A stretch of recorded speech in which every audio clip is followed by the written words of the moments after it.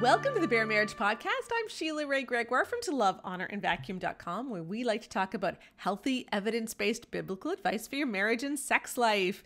I am joined today by my husband, Keith. Hey, everybody. And I just want to say, um, I mentioned this before at the beginning of the year, but we hit a million downloads on this podcast on December 31st, which was Yay. really a big boost for us. That's that great. was that was really nice to see, especially on the last day of the year.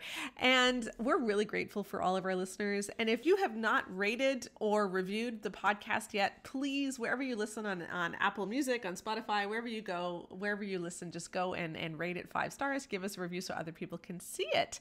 And speaking of other ways that you can encourage us, did you know that we have a Patreon group? It's really fun. You haven't joined yet. You keep meaning to not. join. I haven't. Yes, so that you can be part of all the fun. I know because people keep wanting your opinion on stuff. But we have we have a really big Facebook group um, that's extremely active. Rebecca and Joanna do unfiltered podcasts where you hear what they really think about stuff, um, and it, it's it's a really fun group. Uh, The purpose of the Patreon group is to support our research and fund it because we have no way of funding or monetizing getting our research into peer reviewed journals and um, other social media channels. And that's what Rebecca and Joanna are busy doing. So if you want to join our Patreon, um, there is a link in the show notes. It's just patreon.com slash bare marriage, and you can do that as well. Meanwhile, back on the home front, we're having some fun on another exclusive Facebook group, which is our launch team for our two new books. All new, completely revised Good Girl's Guide to Great Sex mm-hmm. and The Good Guy's Guide to Great Sex, which you wrote with me. Yes. Yeah, which I appreciate. I know. I remember 15 years ago, I came to you and I said something like, Hey, babe, wouldn't you love to get up in front of Thousands of people and talk about our sex life. Yes, and and you looked at me strange, but you did it. Yeah. yeah, it's funny to think that there's actually a published book out there. Yeah. That has my name on it. It's, Yeah. It's uh, interesting. About sex too, so About that's that's sex. that's just weird because you're a pediatrician. But you know, March March fifteenth, that book launches. You can pre-order it now, and when you do pre-order it, if you send in your receipt, um, you can get our special evangelical sex report card, which is kind of cool. Like learn where evangelicals score an A, and learn where we score an F, and lots of D's and C's in there too. And you can get uh, access to our launch team, which means you can start reading the books right now. Follow the links for the pre-order where you can send your pre-order receipt, and you can pre-order Amazon anywhere you want, and then you can join the launch team. So that's that's super fun. Last week on the podcast, you and I kind of did like um, um, an education session. Oh, yes. On the sexual response cycle. Yes, and people really enjoyed it, and so I thought that we could give another education session today Okay. on something that we haven't we haven't talked about in a couple of years. I did a series of, on this on the blog like four years ago, maybe. But let's talk about birth control. Sure. So in the book, um, it's funny. The people who are reading through it right now, they're saying the chapter on on birth control and on our definitions in the sexual response cycle is like for them one of the most helpful chapters, Yeah. and they wish they had read it as teenagers. so so we just want to go over the different birth control options. I did a couple of polls on Instagram this week, so I want to tell you what people said about the different birth control options as well, and just tell you the pros and cons. We don't really want to give you our opinion because it's not it's not up to us what you do. And there are a whole lot of different options and there's pros and cons to everything. There's nothing that's perfect. Yeah, I think one of the things that we do say in our book that you know haven't necessarily seen a lot talked about elsewhere is the idea that it really should be a mutual decision that you're making as a couple. Um, I think a lot of times, a lot of forms of contraception do uh, are mostly for the woman, like the o- oral contraceptive pills, IUDs, things like that. They affect the woman's body rather than the man's body, and so we sort of assume it's something that they're going to take care of, and a lot of guys back off. Um, and I think that you should make what's a good decision for the two of you as a couple together. Yeah, exactly. And and of course, whenever you talk about birth control, we do get into a little bit of, of hot water because Controversy well this or- is a controversial subject yeah. you know first of all the traditional catholic view but it's also held by by many Protestants, Protestants, yeah. Orthodox, whatever, is that we really should be leaving our fertility to God and that sex is meant to be life giving. And so, whenever you take away that possibility, Mm-hmm. that's actually wrong. Um, and so, birth control is wrong. There's the, there's another side which says that any form of hormonal therapy or anything like that, anything that's unnatural, shouldn't be used Mm-hmm. because you shouldn't mess with your body. And we just want to say, like, we have a lot of, of sympathy, respect for both of those views. You know, this is birth control is just a difficult thing, and you've got to weigh a lot of issues. So we're not going to tell you what we think. We're not going to tell you what- you should do. What we just want to do is explain the different methods and and give you the pros and cons so that you Yeah. can make decisions of your own. And we say that in the book. Uh, in the Mm-hmm. end, you have to make the decision that works best for your for you as a couple, Mm-hmm. that fits with your views, um, and that is guided by you know your own medical history too. So you know we're not trying to take the place of your your doctor or whoever looks after your medical care. Uh, we're just trying to give some ideas Yeah. for you to think about. Yeah, exactly. So let's start with natural family planning. Yeah. Okay, which is what we start with in the book. This would be the traditional Catholic Yep. um, uh, way of looking at the subject. And to do that, we need to explain the reproductive cycle. Little Yeah. bit, yeah. Yeah. Because you can't get pregnant any time. There's only a certain time of the month where conception can happen. Uh, to be, you know, quite simplistic, Mm-hmm. conception happens when a sperm reaches an egg and Mm-hmm. fertilizes that egg. Um, so you kind of need a sperm and you need an egg, and they need to be in the same place at the same time. and they need to both be alive because you know they don't they don't necessarily stay viable all the time. So yes, you need a sperm, you need an egg. And so let's think about day 1 of her period as day 1 of her cycle. Okay? So what happens is after your period, you know, your body wants to get pregnant. Okay? Your body is saying, "Oh my gosh, pregnancy might happen. So I need to make sure that I am ready in case pregnancy happens." And, And so that's that's what a period is every year. were yeah. Yeah, that's what that's what your period actually is because every month your body makes kind of like a nest. I mean, it's not really a nest, but like let's just say it makes your uterus all ready to have a baby. Yeah. And, then, if you don't have a baby, if you don't have a baby, it sloughs off, and that's what your period is. yeah, your uterus says, "Okay, don't need you now. Go away." And then it goes away, and you, you have cramping and bleeding and all of that fun stuff. Um, and this happens every month. And so, you know, you take day one of your period. That's that's day one of your cycle. And most women, sometime between day eleven and seventeen of your cycle, an egg leaves the ovary, goes down. One of your ovaries goes down the fallopian tube and hangs around there for just a little bit of time. Mm-hmm. And if it meets a sperm, then you get conception, and then that fertilized embryo goes into the uterus and tries to implant. Mm-hmm. And so that's how you get pregnant. Now, And so sperm live about five days or yeah, so. so, the sperm they're egg- swimming about five days. Yeah, and the egg really is about 24, maybe 48 hours at the outs, at the Yes. absolute max. It's if it's a very sh- short-lived. Yeah, so you take you look at that and you say, okay, we've got a roughly a seven day window where you could get pregnant, and you really can't get pregnant outside of that Mm-hmm. Yeah. seven day window because there's not an egg and a sperm that Yeah. are viable. Because either the, the sperm gets there, and if the egg's already, you know, died, then nothing can happen. Mm-hmm. Or similarly, if the if the egg shows up and if the sperm of if, if there's no sperm in the fallopian tube while the egg's there, they're not going to get fertilized. Right. So so so you think about it like five days before ovulation, you have sex, the sperm swims around for a bit, around, hangs around for a bit, and then meets the egg right as the egg comes, or you know the egg's been hanging around For a day. for a day and the sperm meets it. So you got th- roughly seven days there. So theoretically, all you have to do is just not have sex in those seven days, and you can't get pregnant. The problem is, Yeah, it's two, there's two problems with that actually. The first problem is tracking it. yeah, because not everybody is totally regular and it's Mm-hmm. not as simple as the day because your period could be a little earlier or later um, and we could talk a little bit about Yeah. how to handle that but the second thing is that that also means that there's at least a week a month where you're not engaging you, you're Yeah. not allowed to have sexual intercourse because that's when you're at your and that week is right when her hormone levels are the highest and so her Yeah. libido is likely to be highest. So that's kind of a bummer. But one of the issues with tracking is that it's much easier to track ovulation than it is to track five days before ovulation. And you need to know when that five days before ovulation is. So there's a number of different methods. There's the creighton method marquette method Billings um, method. and there are so many apps for this. Like really, if you want to get into this, there are so many apps for this. The nice thing is It's totally natural. You're not messing around with your body. Um, you get to know your body really well. Once you know the signs of that window and the fertilization window, it's often a lot easier to get pregnant too. so there's Mm-hmm. Yeah, so because many it works well the other way. It's like now Yeah. we know the prime times to get pregnant. Exactly. So there's so many apps for this. Um, great book, Taking Charge of Your Fertility. It's kind of been like the fertility Bible for the last 25 years.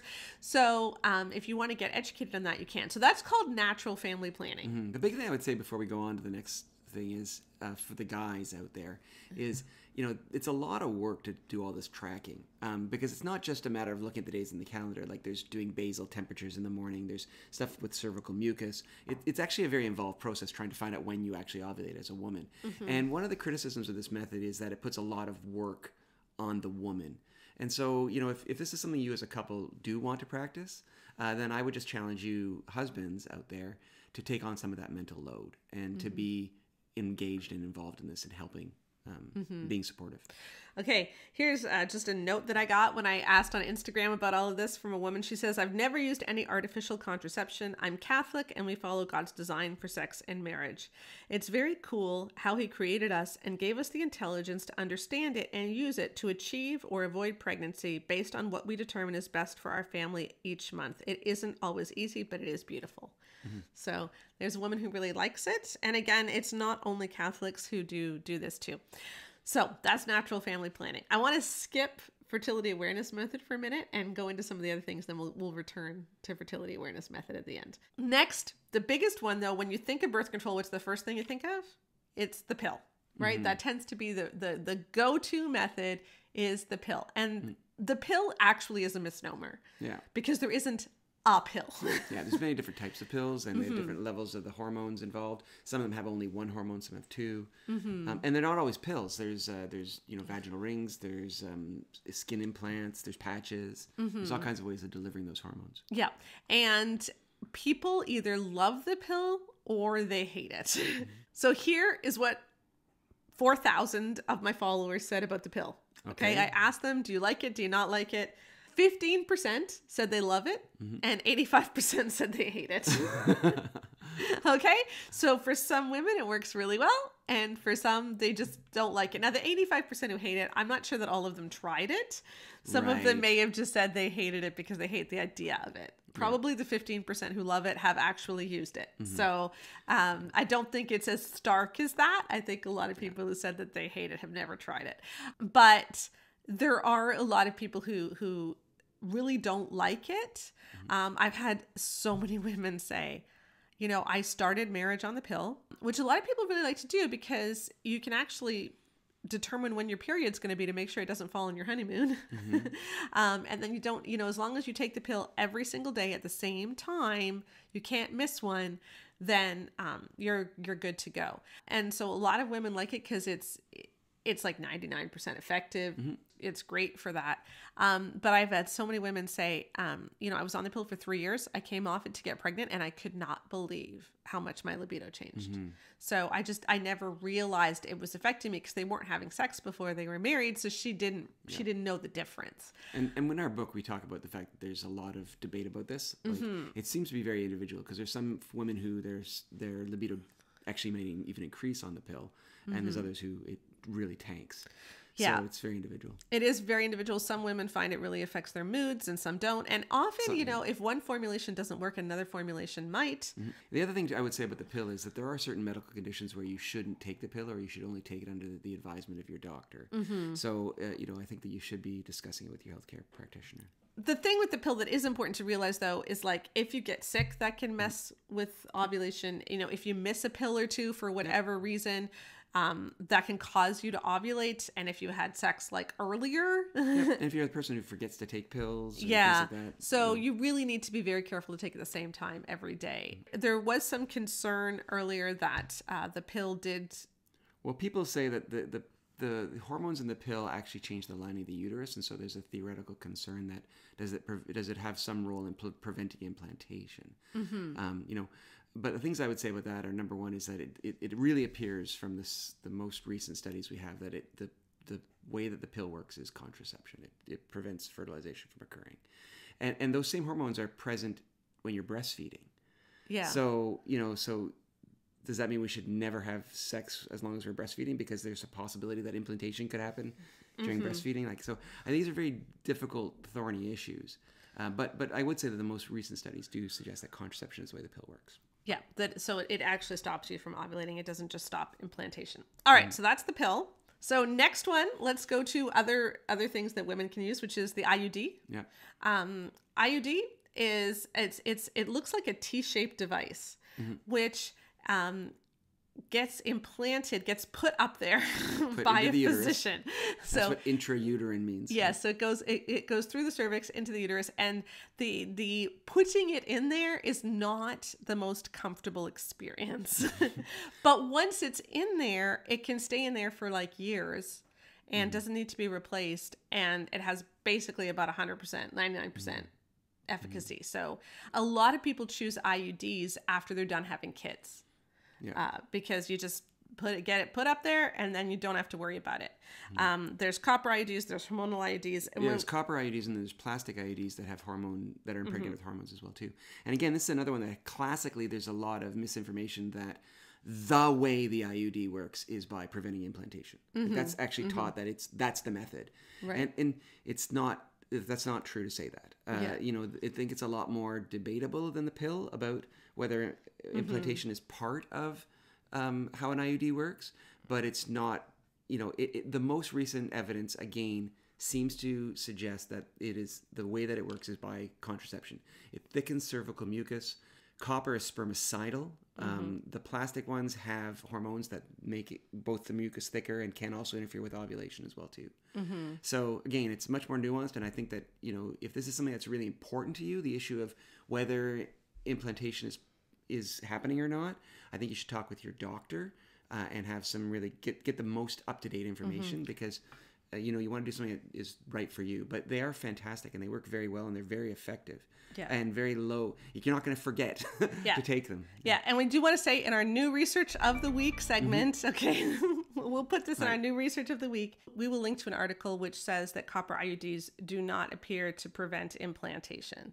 Mm. So that's not the way they work. It really it, so if the cervical mucus is thickened, what that means, so the cervix is the opening to the Like the uterus. gateway, yeah. right? So you go up the vagina through the cervix into the uterus. That's that's mm. where the sperm goes. But if there's if there's a barrier there and the sperm can't get through, then you're not going to get conception. And that appears to be what the main the main way that this works. Hmm. So when we asked people what they thought about IUDs, we had 14% of women who have used it and loved it and 86% who haven't used it. So again, uh, roughly similar to the pill actually.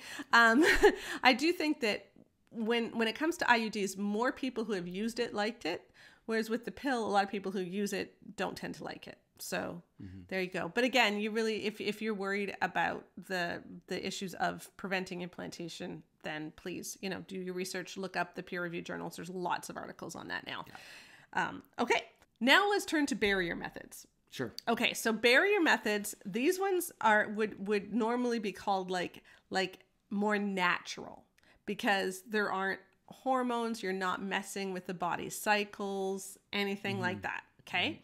Um, all you're doing is you're putting a barrier between the sperm and the egg. So the sperm cannot reach the egg. Mm-hmm. And there's there's barriers that she can use and there's barriers that he can use. So for her, she can use a diaphragm, which is like it kind of looks like half a ball. Mm-hmm. like it's just it's just a, a rubber. I don't even know how to explain it. Mm-hmm. Well, basically, it covers this the cervix and it Yes. prevents the, the sperm from entering into, into Yes. the So uterus. you can you can insert it like up to a couple hours before intercourse so it's not like it has to break the mood or anything Mm-hmm. like that. And then you just take it out afterwards wash it off and you're good to go.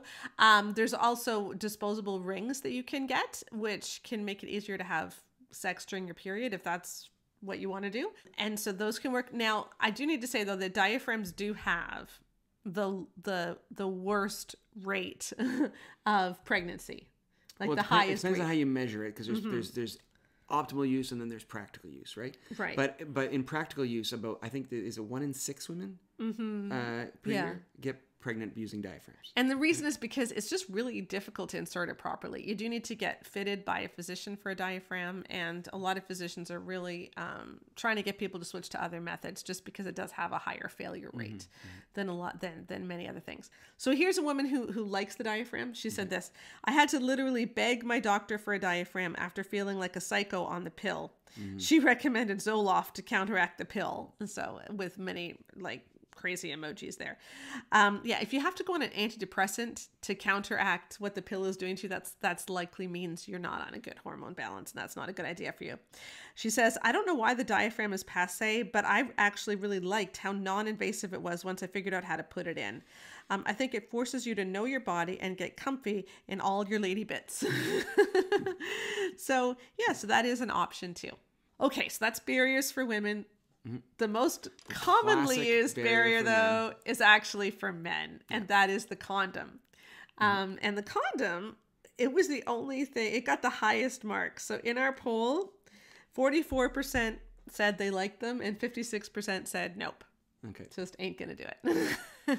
now, when it comes to condoms, of mm-hmm. course, mm-hmm. the biggest reason people don't like them is because it takes away sensation mm-hmm. for the guy, or at least that's what it seems. Yeah. Although we, you know, you, you can make a case for that too in mm-hmm. some circumstances. Yes. but that's a different talk, probably. Well, no, I mean, a lot of people said if if it, it, there there is some, I don't know if this is peer reviewed or, or just in culture, but there is a belief that it helps men last longer yeah. because yeah. yeah. the sensation is a little bit dull. Although I do know some people who are, you know, our age and, and older who who started using condoms for health reasons, cancer treatments, etc. And they hadn't used them in like decades. And mm they're like, today's condoms are nothing like the condoms from like they're so they're so thin you barely feel them at all. So mm-hmm, mm-hmm. yeah.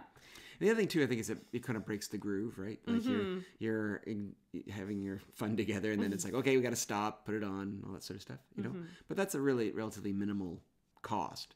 And and the thing is, that it's pretty safe. Uh, in the in the absence of like a latex allergy, there's not really any risk to the guy. Mm-hmm. Um, they're very available you know yeah yeah so kind of super can, easy. when you decide we want to start having babies now you just yeah. stop using them so. It doesn't do anything to either of your bodies doesn't affect fertility at all. Mm-hmm. and what a lot of women say too is the mess is a lot less so it's just easier for cleanup afterwards. So that's a that's a real pro for a lot of women.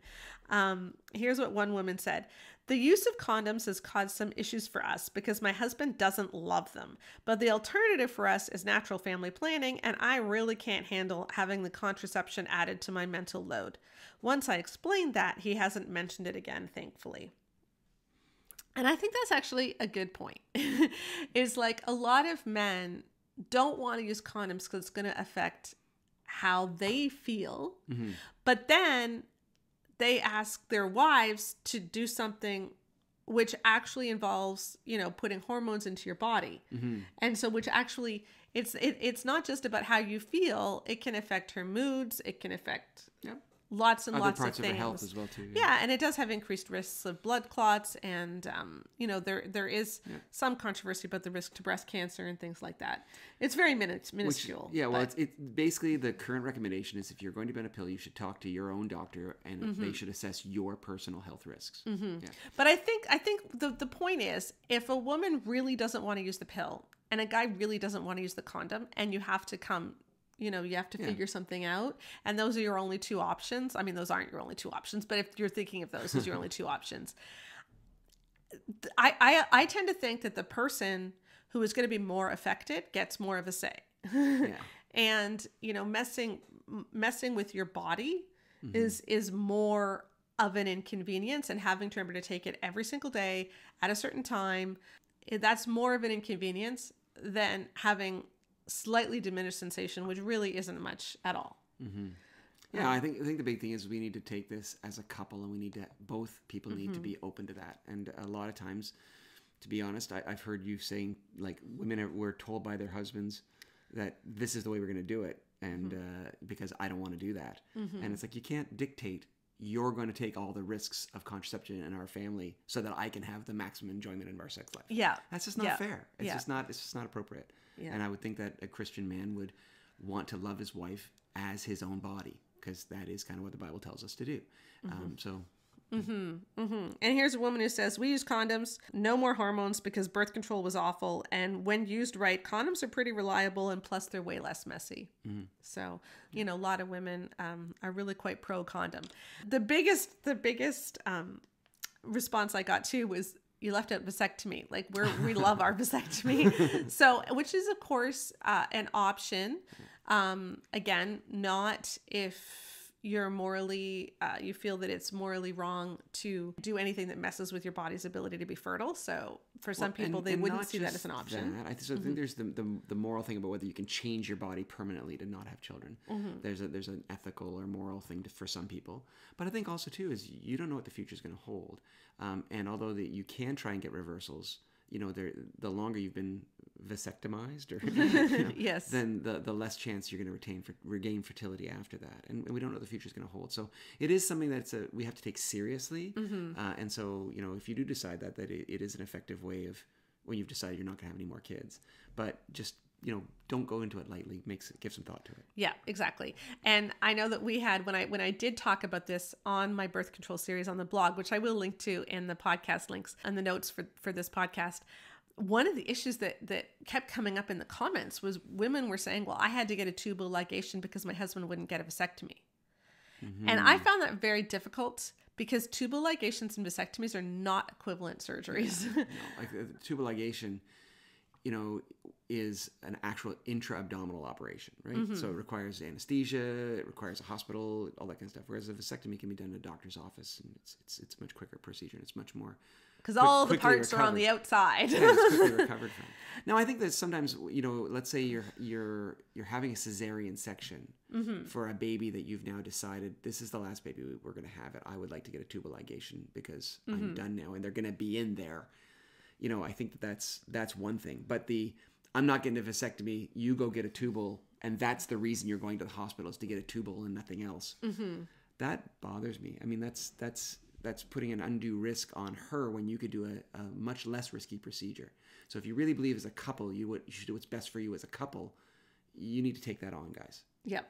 Okay, last one. So this is we've mentioned all the the the single issues of birth control. There's there's another thing which is combining, and this one. Um, And I think you said this. You kind of implied this earlier. You might use one method at one point in your relationship and use another one at another point too. That's- Right. That's, the other thing we you should say. but even throughout the month, some people combine. Yeah, So yeah. what some people do is they they take the natural family planning charting stuff Mm-hmm. and they do that, but then in that seven day window they use condoms. Mm-hmm. So they're using a barrier method in that seven day window, so they don't have to actually abstain from sex. But it means that the rest of the month they don't have to worry about the condoms, and it, they're not using anything unnatural in their body. So that's another that's another option that people really like as well. Okay, a few more comments I just want to share from people. One woman said, "This this one is strange to me. So many couples I know don't want to go on the pill, don't want natural family planning, and are reluctantly getting IUDs. But anytime I suggest condoms, I'm met with silence. Like no one can explain why they won't use them, even though it doesn't sound like they actually want to use any of their other methods either.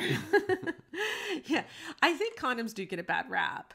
So you know, like they are the least invasive. Uh, so, you know, try it. If you hate it, then look for something else. Um, but the whole point here is that there is no perfect method. There's no method that is going to be wonderful with no downsides. There's downsides to everything, and you just need to decide as a couple which downsides you're willing to live with. But also, um, I think a lot of people go for the method is that is the most reliable, like like that is absolutely going to prevent 100% of pregnancy or whatever. It's actually better to Yeah, go for the method that you're going to stick with 100%. Yeah, because we said earlier, there's like there's perfect use and then there's typical use, right? So if something has got a really good effectiveness as, as a perfect use, but it's not something you're gonna be able to do perfectly, you're gonna do it less well. Mm-hmm. You actually may have more problems than if you got a method that was not quite as you know effective, mm-hmm. but typical use was actually quite good. Yeah, so you just got to know. know. yourselves. Now, okay, before we move off of this, this one's going to make you sad. Oh, there Oh, is one other method that many people use and mention, but you as a doctor could never possibly recommend it, which is of course the withdrawal method. And I Oh, yeah, had yeah, yeah, I, I had many people say, "You know what? We used it for like 15 years, only ever got pregnant when we wanted to." It's it's Yeah. kind of Russian roulette. I mean, like there is there is um, pre-ejaculate that is released before orgasm in men, and, and there can be sperm in it. So it's it's kind Yeah. of a bit of a. Yeah. Could Yeah. not recommend that because Yes, as a doctor, you could not recommend that, but but we do want to acknowledge. You know what? A lot of people, people do, do it, that, yeah. and it's really up to you guys. And that's I think what we want to say is it is up to you, but just educate yourself and and, and don't put it all on one person. and talk to your healthcare provider about these things. And when you do, be very clear about what your personal moral views are about things. Um, your your family doctor, you know, may not may not share your your views, but we as physicians are trained to respect and honor the views of other people. And so, if you explain to them what things are really important, and then just ask them about the science, they'll they'll help you navigate to one that works best for you as a couple. All right, so that is our birth control segment. And again, we cover all of this in both The Good Girl's Guide to Great Sex and The Good Guy's Guide to Great Sex, which are wonderful books. Uh, You know, Great Sex Rescue was hey, church, here's all the things you're doing wrong, and here's all the bad teachings. We're going to tear them down and try to reframe stuff. Good Girls Guide to Great Sex and Good Guys Guide to Great Sex are doing something different. What they're saying is, how can we build something healthy from the ground up? So it's not about tearing down. It's like, if we're going to build something healthy and teach something healthy from the very beginning, what is it going to look like? So let's talk about sex being intimate emotionally, physically, and spiritually. So, um, great books for anyone who's just getting married. Great books if you're still trying to figure out what sex is, how sex works, Lots of practical stuff. lots of practical stuff, or if you just simply want to understand God's design better. So do check those out. You can pre order them now. But I want to change direction. We're going to bring one of my friends that I've met on Facebook, and he's been such a great ally, Patrick Weaver, onto the podcast because I invited him here um, to have a conversation about the Twitter blow up last Oh, week yeah. About Dear Brian, um, where a pastor from Utah posted that women shouldn't um, put pictures on Instagram of them in v necks or with their newborn babies or breastfeeding, and they shouldn't show so much skin. And um, that blew up, and so I'm I was I invited Patrick on to talk about it. While we were having a discussion, he brought up something where there isn't a lot of context for it, so I just want to mention it now so that you'll understand when it comes up. Um, in our book, in our stu- in our survey for men, we found that roughly 50% of men currently use porn. Roughly 50% of married Christian- evangelical men Yeah. currently use porn. And there were some uh, abuse advocates or abuse people who write in the abuse space who were very concerned that our stat was too low. And so we did have a lot of um, attacks before Christmas. I mentioned that briefly on a podcast and last month. And so he is making reference to that. So just so that you know what he's talking about when he when he brings that up. There's your intro. And now I'm just going to bring on Patrick Weaver. Well, I am so happy to have on the Bare Marriage podcast Patrick Weaver. He is a pastor in the San Francisco Bay Area and he's a big abuse advocate. I have shared a lot of his stuff on Facebook and I just love what he does. Patrick, thank you so much for being here. Thank you for having me. Originally, when I asked you to come, I want to talk about abuse, but then something happened and the internet went crazy. and you posted, so I thought, you know what, let's move that.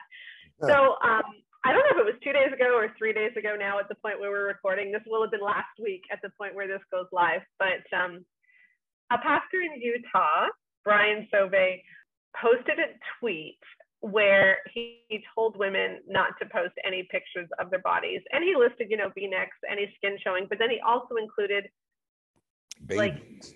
babies and birth stories right. and said that you're not supposed to do this. I said something on this, a bunch of people said something on this, and I just want to read what you posted this morning. And then I thought we could talk about it. So here's what you said. When a Christian man is told to fix his pornified mentality by telling women to cover from head to toe, the assumption is the pornified mentality is caused by what he's looking at, as opposed to the sinful heart God said he's looking through. Matthew 5, 28 29. Modesty didn't and doesn't stop these same pornified monsters from raping, molesting, assaulting, and sexually harassing women in the church. These same pornified Christian men are picking up prostitutes, frequent, frequent flyers on porn sites, and regulars at strip clubs. A pornified mentality is a sinful heart problem, not a woman problem. so thank you. So what's a pornified mentality?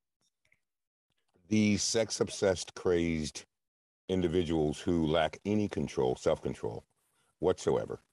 And they're Mhm. constantly looking to outsource this lack of self control onto any uh, pop culture theme and or uh, Christian ideology, uh, whether it be purity culture and or uh, you know, or or even modesty, quote unquote, which I can't figure out how those men actually go to the beach. I, I Joanne and I were talking this morning. We were thinking, okay, let's let's make a list of all the places where men like this can't oh. go. Like you can't go to the mall, you Right. can't go to the beach, you No. can't go like you, you know you can't go watch a Marvel movie. No, no. And I thought, you know, well, maybe they'll start talking about the mannequins and how the mannequins need to also be modest now. So yeah. I, I mm-hmm. just can't possibly figure out how these people exist on Earth. I just can't. I just can't. you know that's one of the things that gets me about the modesty message. And, and this is a point i've been trying to make over and over again is even if every woman in church was covered from head to toe Right. and she never posted anything on instagram like this guy said other women would. So if you can't handle it with your christian you can't handle being out in public. Like the problem's yours The problem is so yours because, like you said, you can't handle being in public. You can't handle the interaction with humanity. You can't go into a hospital, somebody's gown might fly open. I mean, you're just not you're not ready for humanity which only simply says to me you're emotionally and spiritually immature Mhm. aren't calling it that you're calling it lust you're calling it all of these other things or you're calling it someone else's responsibility but the bottom line being is these are very dangerous depraved deviants Mhm. and they're starting now for some odd reason to rear their ugly little heads in these covert ways And I think what I found most disturbing about what he tweeted was that he included birth stories and being with a newborn baby, which means he is sexualizing that. So it makes me think he can't see a woman as anything other right. than a sexual object. at all under any circumstance. And the same thing that i am always curious of when they make those statements. Do they mean everyone else's daughter or including their own daughter? Hmm the, everyone else's niece and and and and and, and granddaughter or that's how they look at their niece and granddaughter as well Yeah. i don't know where the line is drawn with them Yeah. they can control themselves at home but not out in public at the family reunion but not at your house I'm, Mhm. I'm i'm just curious are they also pornified with their family members I know it really is horrifying because Jesus, like, it- it- we're all brothers and sisters. He Right. said that.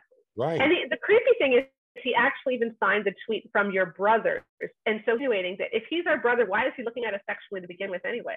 Right, right. Why hmm. does why wouldn't it even be his responsibility, as would the Bible tell him, to renew his mind hmm and as well work out his own salvation in, in, in fear and trembling, not work out the color of clothing and or the type of clothing that women have on. Yeah. I it, it is really disturbing, and you know, when my daughter, I've, I've shared this many times, but when my youngest was 11, um, she was told by her Sunday school teacher, who was a woman, by the way, um, that she needed to stop wearing V-necks or any sweaters that came very low because now she was developing, and you know, so the men at church would be looking at her, and we had a hard time getting her to go to church for the next few weeks. Oof. But you know, it's often women who spread this message too. Yeah, and I and I think they have been certainly indoctrinated into this culture that is led by toxic patriarchy. And to a large degree, I think Christians are not willing to call out this kind of behavior, this mentality. So we're we're, we're we find ourselves in many of these churches just going along to get along. I, I do believe we know better because if we look at the church, the molestations, the rapes, the sexual harassment, a, pastor just a few months ago um, was trolling and got caught up in a sting for underage prostitutes. 15 years old. He's trying to make a date with her online, makes the date, goes to the date. It's an actual sting. Mm. He gets arrested. That was a Friday. He walks in the pulpit on Sunday as if nothing happened. Oh, seriously. Seriously.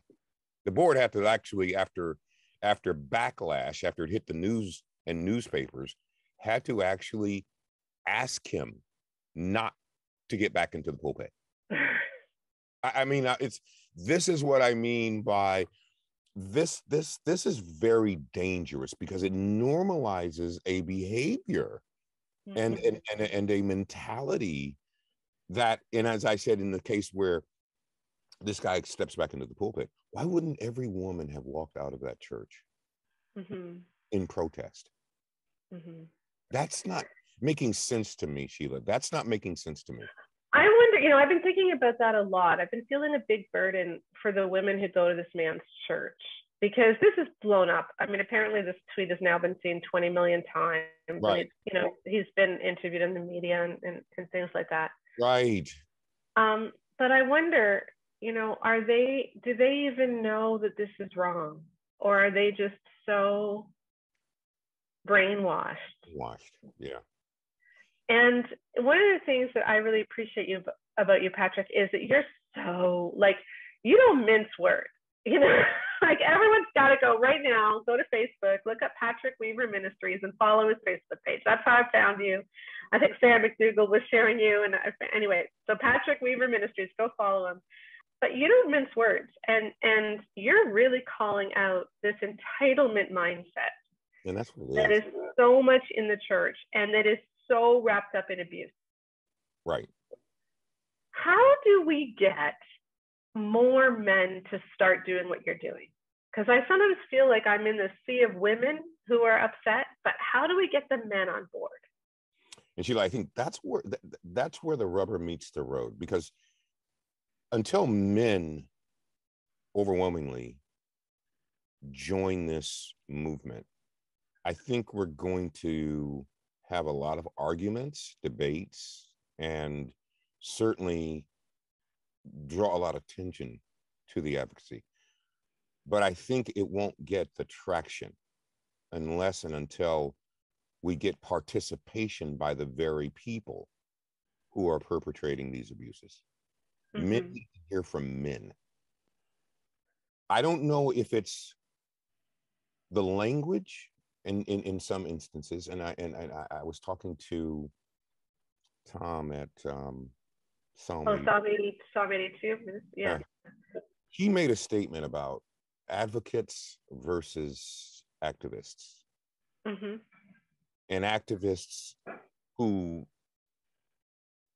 for their reasons and their agenda but for this small reason and small agenda are act are are are advocates but a lot of that language is incorrect and or can almost turn the entire movement against men hmm who are not speaking correctly or saying something accurately. Uh, I'll give you an example.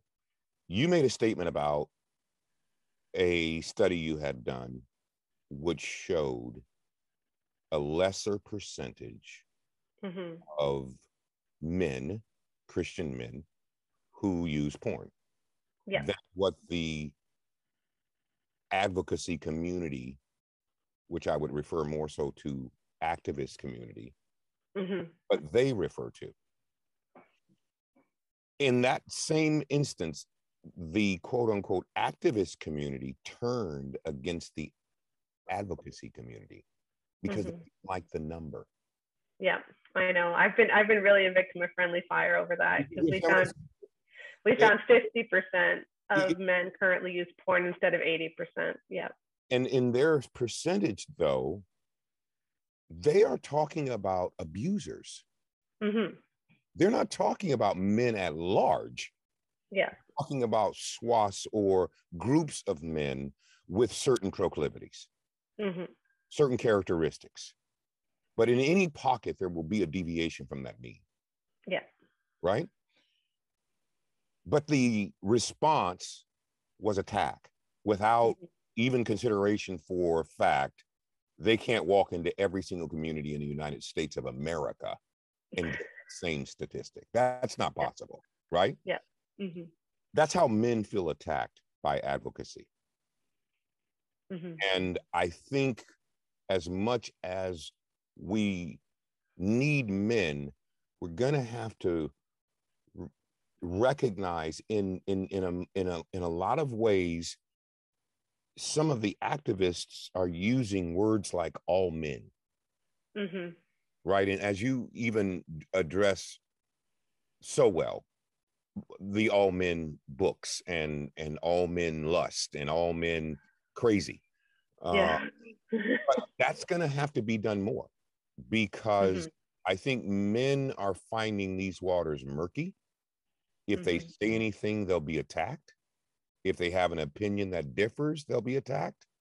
If Mhm. they have a reality that differs, they're going to be attacked. So, are they really invited? Mhm. That's the big question we've got to ask ourselves as advocates is are they invited and even invited ignorant or do they need to be uh, specialists in trauma and have the lingo and if they make a mistake in wording are they going to just be assassinated Right. That's actually that's a really good point for social media interaction because you know there have been some guys, especially on my Facebook page, that how do I say this ni- nicely? You know, they're trying but they're not there, and Yeah, and then yeah. a lot of people jump on them. And I've tried to be patient and continue to educate, and they're now some of my biggest supporters. But it took a long time to get there. But like, but like, we gotta not not jump when someone's heart is in the right place and they're really trying to learn. Um, to learn and they're trying to learn yeah. just don't have the language or the exposure Yeah. And And that can be hard because as women, we're so used to always being attacked and we just want people to see our side without having to always be patient. And it's difficult. It's difficult to be patient when you're the one who's always been hurt by this. But I think if we do want to see change, I think what's so important is to to go back to what Jesus did and treat everybody like an individual and not like a group. right a mob it's it's so Yeah. it's so important Mhm. because I often wonder, wow, if the guy had the nerve to speak Mhm. environment, which has that tendency, imagine if he would have been educated in an encouraging way, Yeah.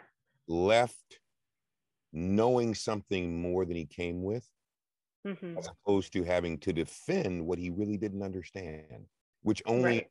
which only spirals out of control because he's defending something now that he believes has insulted him and or has confused him with other men when that Mhm. was never really the intent right so he's defending what never was in question Yeah. but the way that he's being spoken to it only emboldens his defense right because now he's thinking well geez this is proof i'm being attacked Yes. Yes. and I and I and that's why I love your page. I love your page. That's why I always comment on it because at the end of day, there are people out there who are making this possible. I've never seen you make a comment to someone, male or female, that did not give them the backdrop, the understanding, and the encouragement so that they knew how to participate in the dialogue. I've never seen you not do that. Thank you. I, I feel like well, thank you. And I, you know, I, I would say the same about you. I think that you're very, um, you're very pastoral. Like you put you put these things that do not mince words as your, um, you know, as the as a post, but then in the comments you're always very pastoral to people. So I think that's very helpful too. Um, It's, and just caring.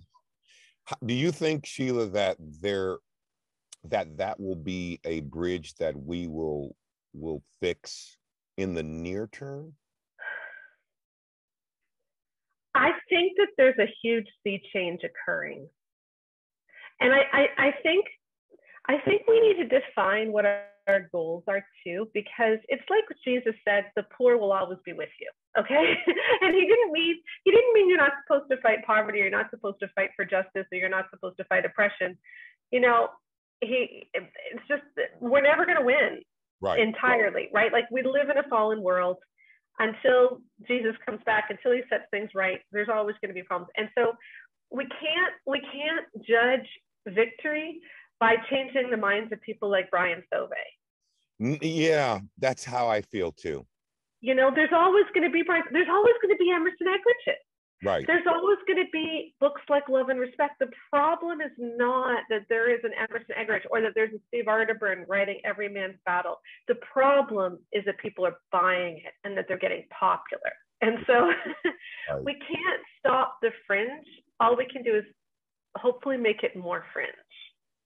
Yeah, right, exactly. And I think that's also another reason, you know, on your page where you really give us the uh, blow by blow details that give us the ability to understand how this content, public content, uh, books, how they actually relate to the problem, right? Yeah. In an unbiased way, and and and I and I think the more that that's done by the advocacy community, not mm-hmm. just by one or two or three, but the mm-hmm. advocacy community has got to start incorporating that pushback in their messaging because yeah. not enough folk are aware and that awareness is got to be from the advocacy community at large so imagine if when you push back on garbage science garbage content that only encourages abuse in its language but has been adopted as acceptable Christian relationship material. Imagine if the entire community did that. Mm-hmm. Imagine then what awareness would be mm-hmm. when the next book comes online. Yes. You see, there has to be this awareness that the advocacy community is concerned with. It can't, one way of helping the victims is to encourage sensitivity for information or regarding information that that that that predators use to prey. Yeah, We've predators. Gotta... When we hear predator, we often think like pedophile. Predators can be abusive husbands, abusive right. husbands it, preying on their wives. Yeah, mm-hmm. absolutely, intimate partner predator. And a lot mm-hmm. of this, most of this stuff, actually is what emboldens the intimate partner predator.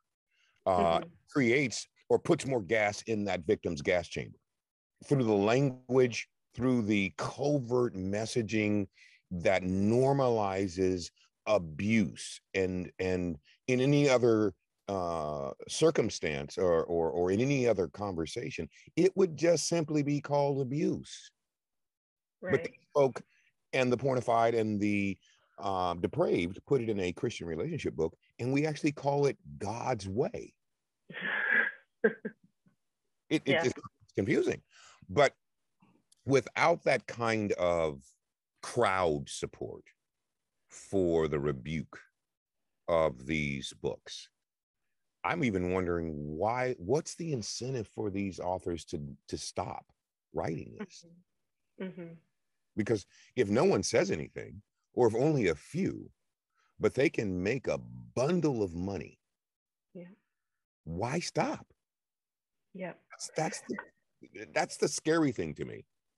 Yeah. And that's why I know I met you when we were, I guess, right around when Married Sex was launching, and, and you were very vocal about some of the problems about Gary Thomas's objectification of women in that book. Right. Um, and that was, I, I really was encouraged by that. And it's funny because we all were talking about it, but from such different ways. And it was, it wasn't a coordinated campaign, but it was really the first time where all the, all of us who kind of know each other on Facebook started doing the same thing, and it really had a big effect. And I think that shows that that when we do get together and say, no, this is no longer acceptable because this isn't of Jesus. right, you know, right. Maybe right. people will will sit up and listen. Mm-hmm. And I think that's been a large part of why I, I, I, you know even in in even from what you do more are encouraged to do it i've never seen more people do that that being critique book and respond publicly using their platform to garbage material uh, masquerading as christian uh, relationship uh, book. I, i've never seen more people do that since you started doing it. Yeah. and so that's that's that's why i say every seems like every move which i think this is a move of god. Mhm. uh, this this is how jesus would have wanted us to react respond and defend the oppressed. Not be tolerant not be complicit but be vocal emboldened and determined through the holy spirit to free minds from dangerous ungodly content Amen. Well, thank you so much, Patrick. I really appreciate this. I appreciate your partnership in the gospel and in what we do. And everybody, right now, pause this podcast while you're listening and go to Facebook and find Patrick Weaver Ministries. He's awesome. I guess you're on you're on Instagram too. I've never followed you on Instagram. I should, but it's the same man but go find him and, and you'll really be encouraged by him. So thank you so much. We'll have to have you back on again to talk about abuse one day. But but I appreciate this. Patrick is a really great guy. Oh yeah. Yeah, and I I, I, I love um, getting to introduce you all to new people, and I hope you go follow him. At the end of the podcast, we like to give some encouragement. Um, and on our Facebook group, we've been doing some Facebook lives. People are starting to read the early copies of the books that they've been getting if they pre-ordered. And again, you can join that now. Like you can join our our Facebook group and our pre-order launch team. Launch team sounds really scary. All it means is that you're going to read the book early and leave a review. That's Yeah. all it means. And so you can do that by pre-ordering and following the link in the in the show notes. Um, but somebody gave me a really good compliment, and I thought that I would share that. Okay. She said that reading the Good Girls Guide was like a warm hug from a friend. Oh, and I so thought, nice. you know, because I just feel like there's so much ugliness that is Mm-hmm. often about sex in the church. And she said this just felt like really beautiful Yeah. and wonderful. And so, yeah. and that that's the vision we want to have for what sex should be Yeah. Christian couples. Yeah, that's how we want to start people out is hey, this is this is so if you know someone who's about to get married, if you're about to get married, if you're early in your marriage, if you've never figured sex out, this is a great book to figure out the orgasm gap, to figure out how her body works, either for women or for men, and you can read them as a couple and then do the discussion questions afterwards too. So do check those out. We will put a link in the show notes. And thank you for joining us on the Bare Marriage podcast. Uh, we will see you again next week where we share some more stuff from our men's survey and from our new books. So see you then. Take care. Bye bye.